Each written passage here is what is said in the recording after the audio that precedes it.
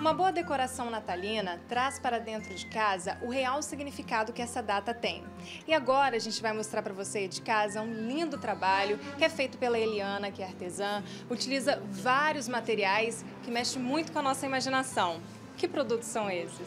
Olha, nós trabalhamos muito com velas, com bambu, madeira, cipó e coisas que eu encontro às vezes na natureza. Aí você passa a ver uma madeira, uma flor, aí a gente utiliza, vem da criatividade do momento. E objetos que acabam transformando a decoração uma coisa linda e viva dentro de casa, não é verdade? É, o artesanato tem seu brilho, né? Sempre tem uma coisa muito pessoal. As pessoas às vezes chegam aqui e perguntam: ah, dá para fazer de uma maneira que seja do gosto dele? E a gente então desenvolve junto com a pessoa. Vi aqui pratos, né, que são feitos com tecidos, guardanapos, também coisas de madeira. Isso é, a gente vai usando vários produtos, porque você não pode ficar só com um tipo de artesanato, porque as pessoas querem novidade. E teve um, Eliana, que eu achei muito interessante, tá bem aqui, ó. Esse que é feito com rolha de garrafa de vinho, gente, olha só. Que coisa mais linda. Um charme. É, as pessoas que gostam de vinho, então é tudo, né? Você coloca numa, numa, junto com as garrafas, aí dá um toque especial.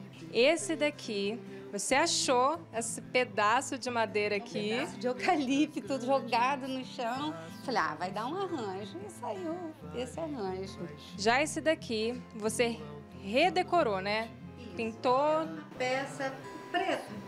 Aí a gente fala assim, ah não, preto para o Natal, aí você vai, você pinta e, e desenvolve o arranjo.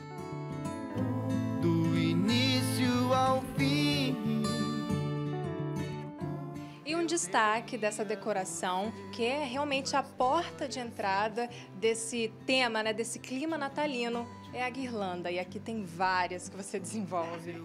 É, a guirlanda realmente, ela representa o carinho que você tem por todas as pessoas que você que vão na sua casa. E o legal é que aqui você trabalha junto com a família também, né? Acaba sendo um trabalho com diversão e amor, com todo mundo reunido. Isso, sou eu, meu marido, meu filho, nora e prima, e a gente vai fazendo esse trabalho junto, e é gostoso.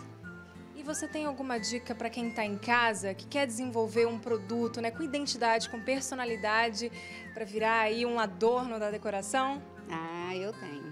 Use sua criatividade, desenvolva, liberta. O que vai, olha, sai, te garanto que vai sair bonito.